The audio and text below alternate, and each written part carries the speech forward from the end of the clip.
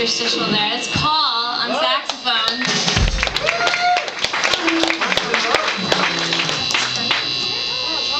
We're missing a Charlie on stage. Charlie! Charlie! Charlie! Charlie Murphy. Got caught in the bathroom.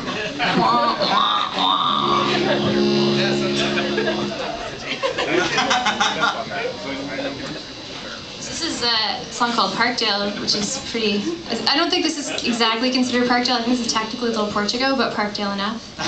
You just go down that way, you've got all sorts of fun stuff.